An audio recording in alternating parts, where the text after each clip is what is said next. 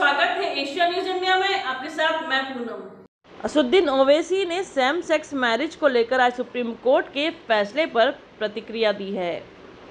ओवैसी ने मंगलवार को अपने आधिकारिक एक्स हैंडल से पोस्ट किया। सुप्रीम कोर्ट संसदीय सर्वोच्चता के सिद्धांत को बरकरार रखा है।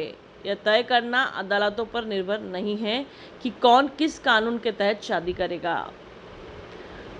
ओवैसी ने बिंदुवार तरीके से अपनी बात कही। उन्होंने आगे कहा, मेरा विश्वास और मेरी अंतरात्मा कहती है कि शादी केवल एक पुरुष और एक महिला के बीच होती है।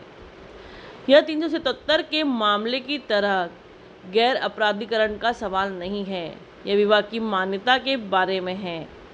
यह सही है कि सरकार इसे किसी एक और सभी पर लागू नहीं कर सकती।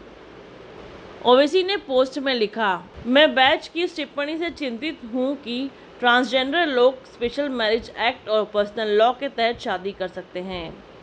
जहाँ तक इस्लाम का सवाल है तो यह सही व्याख्या नहीं है, क्योंकि इस्लाम दो बायोलॉजिकल मेल या दो बायोलॉजिकल फीमेल के बीच विवाह को मान्यता नहीं देता है। अवेसी ने लिखा, मैं न्यायमूर्ति भट्ट से सहमत हूँ कि स्पेशल मैरिज एक्ट की लिंग तटस्थ व्याख्या कभी कभी न्याय संगत नहीं हो सकती। और इसके परिणाम स्वरूप महिलाओं को अन अपेक्षित तरीके से कमजोरियों का सामना करना पड़ सकता है। इसी के साथ बने रहे एशिया न्यूज़ इंडिया के साथ। धन्यवाद।